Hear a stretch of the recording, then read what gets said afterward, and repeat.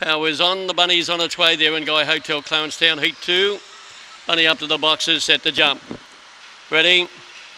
Off and running. There's a nice break, jumping good towards the outside. There was Where's Eyes Aman Ra looking for the lead and's going to cut over to go to the front. They were followed by Pettigo Fire. The next one was Proven Outbreaker. A fair margin away to Vera back on the inside Waikiki Lee. Well back Nedex and Man Max as they travel to the turn.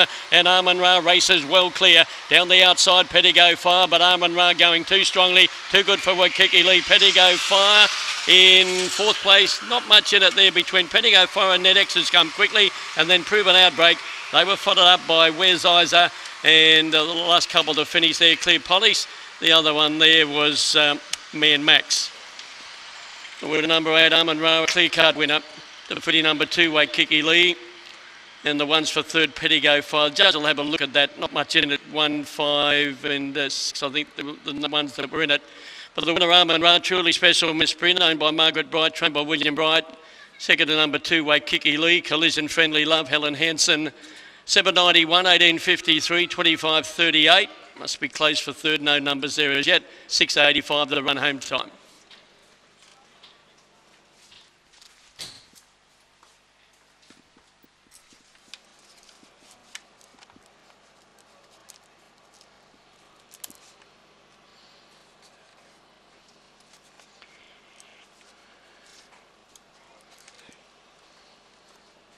Now number one's hung on for third, 8215.